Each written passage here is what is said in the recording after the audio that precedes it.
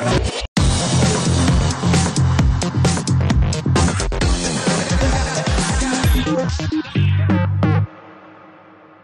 Racing Carnival is upon us, and at Citysearch, we've come up with our very own survival guide to the races to make sure you have the best day possible.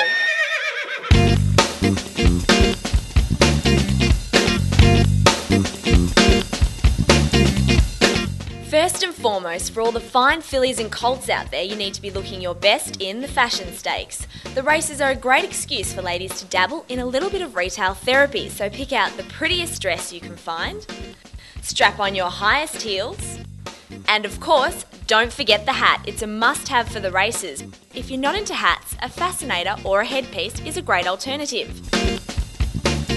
Looking fabulous can often compromise comfort, so be sure to have a pair of comfy flats that match your outfit tucked away in your handbag for later. And for the guys out there, it's time to dust off your suit and spruce up your outfit with a colourful tie or even a pocket square. And of course, if you want to look like a serious race goer, why not wear a hat?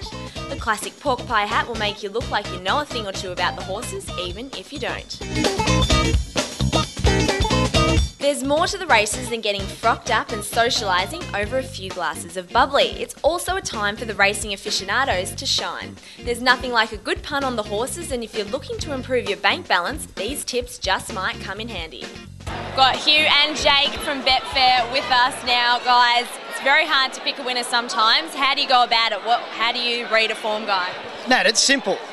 All you need to do is uh, know the horse's form. So if there's a one or a two or a three next to its name in recent starts, that's a good sign.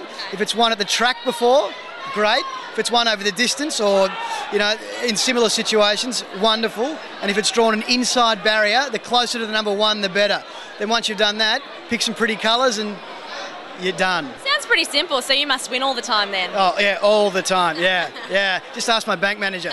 Yeah. Now, Hugh, once you've picked a winner, how do you go about placing a bet? It can be a bit confusing if you haven't done it a lot. First things first, you've got to find a line that's uh, small enough so you can actually get a bet on. It's a pretty good bookie, uh, bookies ring down here. It's thriving at the moment. There's plenty of people.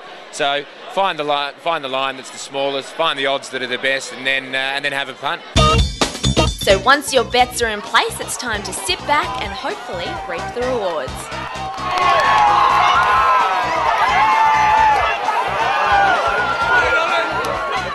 Races are a big day, so you need to be in it for the long haul. And if you're a stayer, you want to be in good nick for as long as possible. So a picnic rug and some fold up chairs are definitely a must have. The races can also be an expensive day, especially if you've been unlucky on the punt. And while you can't bring in your own alcohol, you can definitely bring your own food. So pack a gourmet spread and make sure you bring an esky to keep everything nice and chilled. And don't forget to bring bottled water as well. Keeping up your water intake will only keep you fresher for longer.